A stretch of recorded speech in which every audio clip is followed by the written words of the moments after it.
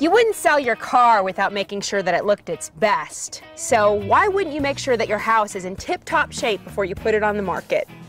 Working as a designer, I can tell you, staging is one of the best ways to add value to your home for very little money. So what should you focus on first? Decluttering everywhere. From counters to walls to floors, you want potential buyers to see the house, not your knickknacks. Scrub everything from tile grout to window panes. Every square inch should sparkle. If you don't have time, hire a pro. And don't forget your home's exterior. Rent a power washer for a few hours and give the house a good cleaning.